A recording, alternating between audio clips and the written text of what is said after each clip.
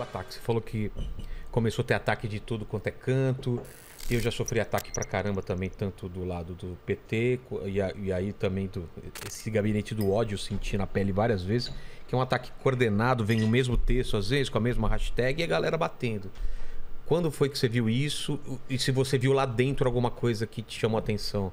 Ó, os ministros. Ah, me dá esse de honey aí. Esse aqui? Os ministros. Não, vou, te- vou testar esse, vamos ver. Tá. Os ministros reclamavam muito pra mim. é, o Santos Cruz, o Onix. é, que diziam assim: ah, esse maldito gabinete do ódio, esse gabinete do ódio. E eu achei que era só uma expressão. Que não era uma coisa realmente. Que existia um gabinete do ódio. Que era uma Ah. expressão que eles usavam ali dentro. Como haters, vai. É, entendeu? Nunca imaginei que fosse um, um negócio que existia, coordenado e tal. E o Santos Cruz apanhava muito e o Onix também. Estranho, porque eu sou de rede social, eu conheço como é o comportamento das redes.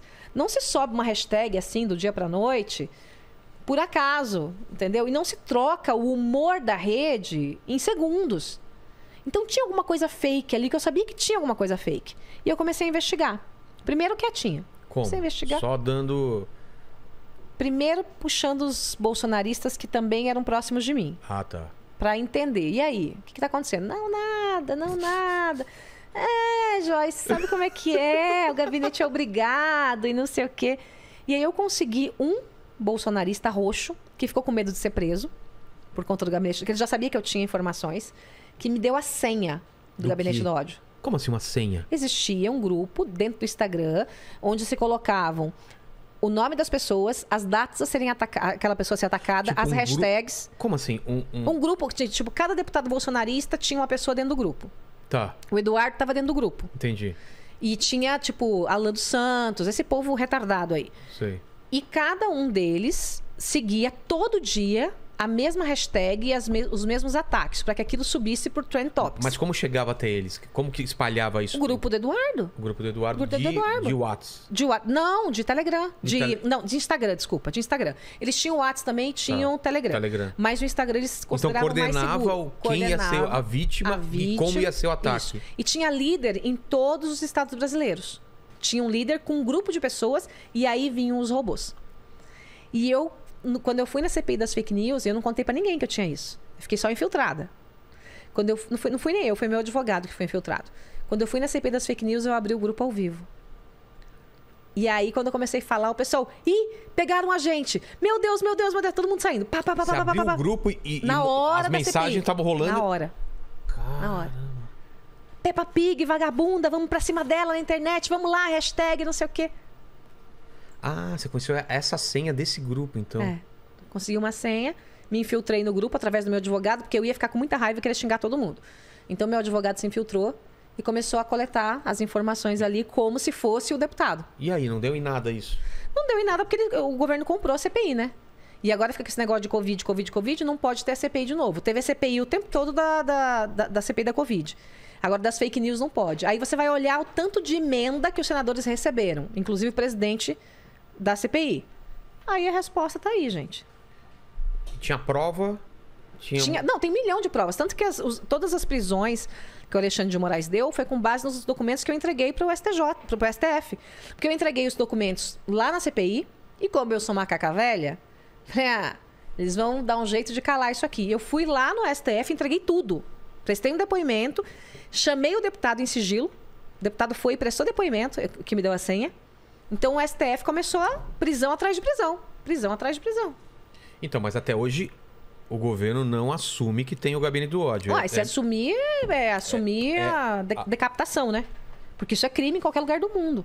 É porque eu vejo um movimento, a gente percebe quando é uma coisa natural e quando não é. né? Lógico, lógico. Mas, Até mas- porque uma coisa natural mas- leva ali 10 horas pra ser trends. Mas não é um negócio assim de ah, 5 Não, minutos. não, é muito rápido. É muito, não, é Não absurdo. É, é rápido. E parece que tem algumas, algumas pessoas que, que, que lideram e vem o pessoal atrás. né? Exatamente. Mas contigo, a favor também, você sentiu isso em algum momento? Não. Falou, de repente, um monte de gente me apoiando ou dizendo alguma coisa aqui. Não, porque assim, eu Porque apo- não é, o, o gabinete do ódio não é só contra também, é a favor de algumas coisas, não é? Mas eu nunca fui do miolo.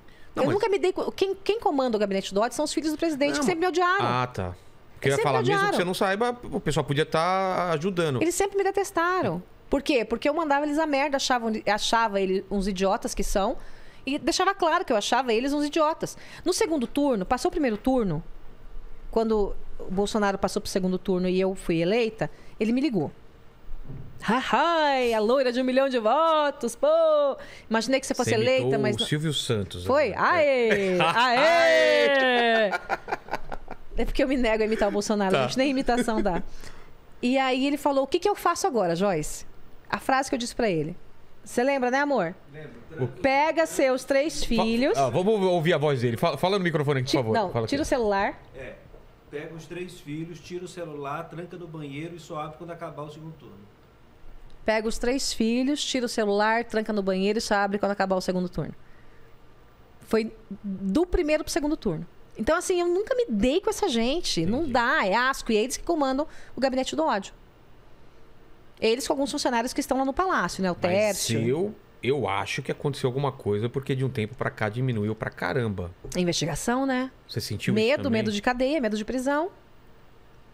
Investigação. Mas isso é só nessa zoeira quinta série, tipo Peppa Pig, ou é ameaça também? Não, ameaça de morte, montagem pornográfica chegando na escola do meu filho. Pros celulares dos amiguinhos do meu filho de 11 Espalhando como? anos. Pelo WhatsApp? Pelo WhatsApp, pelo WhatsApp, pelo Twitter, por tudo. Caramba. Absurdo. Mas isso não absurdo. consegue chegar nas pessoas? É tudo servidor russo, É? chinês, Fazer um, um caminho absurdo. Indonésia. Entendeu? É tudo, é tudo deep web. Botar de pornográfica foto ou vídeo? Foto. Caramba. Mas E eu acho que acho que com as, as tecnologias aperfeiçoadas ainda vão daqui a- fazer vídeo. É, É, não. Veio um cara aqui foto. de deepfake, putz, já Não, dá pra fazer fácil. Então. Pega vídeo seu do rosto e é facinho. Você imagina o que vai ser essa eleição. né? É, exatamente. Que vai ser Até esse- voz. É. Os caras, eu vi uma, uma- Não, eu vi uma gravação minha. Eu falei, gente, sou eu, mas não falei isso. falando outra coisa. Falando outras Não, bobagens, eu falando bobagem. Falei, o cara como é que, que veio pode? aqui, o- o- o- falando sobre deepfake, era, acho que era a Merkel, ela falando perfeitamente com a voz dela em espanhol, uma coisa que ela nunca falou. É incrível. A boca mexendo certinho. É. É incrível, incrível. Vai ser, vai, vai ser perigoso aí de fake É, infelizmente tem que ter trava. É. Eu tenho um projeto, inclusive, para que, quando houver ataques coordenados com mentiras, fake news mesmo, em que tenha dolo, ou seja, a intenção de prejudicar, e que seja feito com um grupo de pessoas, ou seja, formação de quadrilha, tenha prisão de até oito anos. Tem que ter, gente. É, senão. Tem que ter, porque verdade é verdade, mentira é mentira. Ah, não, pode tudo na rede. Não pode. Claro eu não posso não. ir lá e dizer, ah, o- pegar um padre honesto, um pastor honesto, dizer esse estuprou cinco criancinhas. Pedófilo, e é. fazer montagem e pôr na rede e dizer que aconteceu isso, porque a vida do cara tá destruída. É. Tentando destruir a minha vida. E de do Moro e de tantas outras pessoas. Não dá, não dá. foi isso, montagem pornográfica. Montagem, xingamentos, Mas e- assédio é, moral. mas tipo, eu sei onde você mora, os seu- os seus filhos onde Vou te matar, filha da puta, sei onde você mora, sei que são seus filhos, vou matar a Gabriela, vou estuprar. Assim, nesse E nível. o que, que você fez pra se proteger? Não, Você- polícia, né? Polícia, né? Polícia, tudo polícia. Tudo polícia. E o lance do Peppa Pig, você acabou assumindo essa brincadeira. É, virou minha, meu lema de campanha É? da prefeitura. Né? Pa- Parecia a Pepinha assim dançando. Eu fiz uma campanha anti-bullying com o bullying. Entendi. Eu peguei o bullying e fiz uma campanha anti-bullying. Acabou. E aí para... diminuiu pra caramba depois que você assumiu. Diminuiu pra caramba. Eu até vou, não- vou fazer uma, tá- fotinha esses dias com a Pepa, tô tá, precisando. você não tá afetando, por que que a gente vai continuar chamando? Exatamente. É o lance do apelido, né? É, exatamente. Tô, tô ignorando.